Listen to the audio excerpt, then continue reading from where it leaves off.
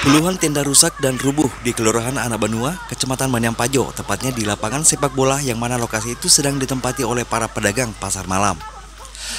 Namun tanpa disadari oleh para pedagang dan pengunjung pasar, tiba-tiba angin datang menghempas tenda-tenda jualan para pedagang yang membuat para pedagang dan pengunjung mendadak panik dan bergegas menyelamatkan properti beserta barang-barang dagangan mereka yang masih sempat diselamatkan.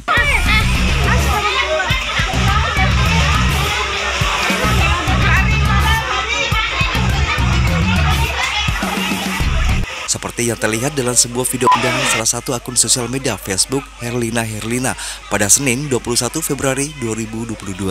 Dalam keterangan video unggahan itu dijelaskan oleh para netizen yang merupakan warga setempat yang ada di lokasi bahwa dalam kejadian tersebut tidak ada korban jiwa, namun kerugian cukup banyak dan belum diketahui berapa jumlah kerugian yang dialami oleh para pedagang yang terdampak cuaca ekstrim angin kencang yang merusak properti dan barang dagangan para pedagang.